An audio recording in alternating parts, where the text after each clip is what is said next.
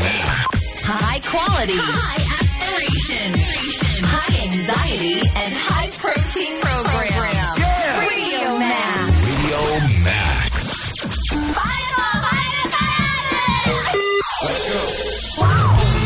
パルコ5カラーズこのコーナーは大津パルコの提供でお送りします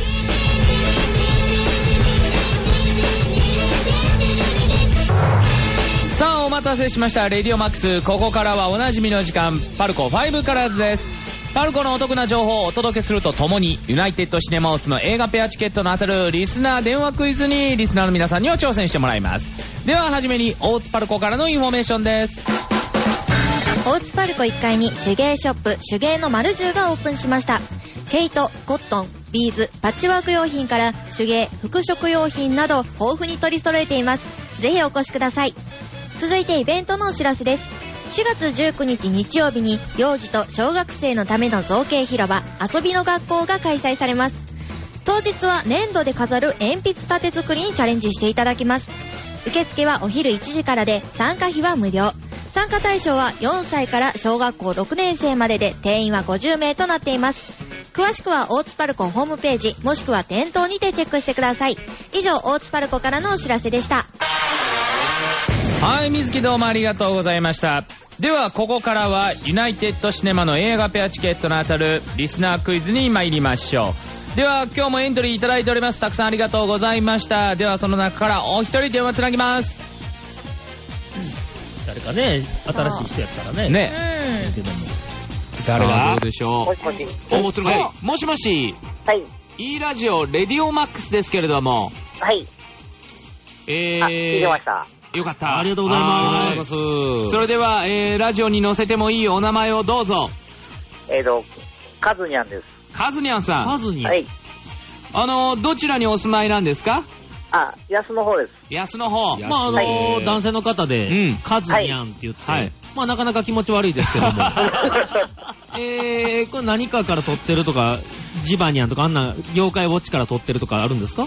いや、あの、彼女から言われてるんで。彼女から、彼女にカズニャンって呼ばれてる。彼女からカズニャンって言われてる。この彼女のことは何て呼んでるんですか？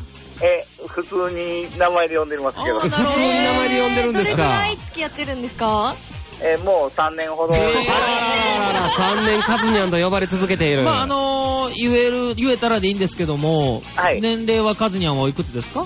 あ、44です。44! 気持ち悪い。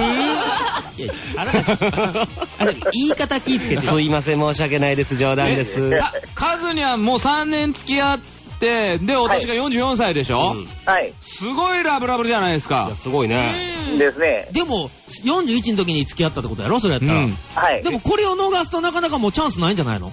いや、もう、バツ2回なんで、あそうなんですかあーなるほど。ところで相手は何歳ですか？え、31歳です。あら、えー？おーうわ、若い彼女捕まえてえな、えー、これはちょっと、謝ってくださいよ。ほんまですよ。僕原田みたいなやつもいるんですよ。